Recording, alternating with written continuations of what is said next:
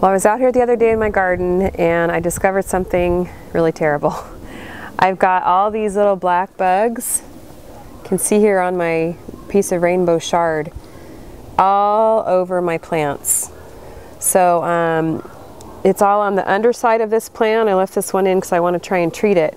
And then I took a bunch of them out because it was so infested. So that you can see they're like teeny tiny little black bugs. I'm not too sure what they are. I think they might be aphids, but I'm not sure.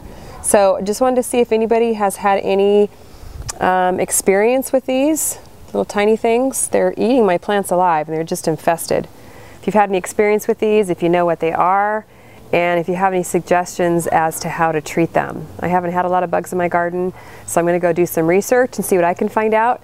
But if you can help me out by leaving me some comments, that would be great because I really don't want them eating all my beautiful rainbow chards. So anyway, thanks a lot and I look forward to hearing from you.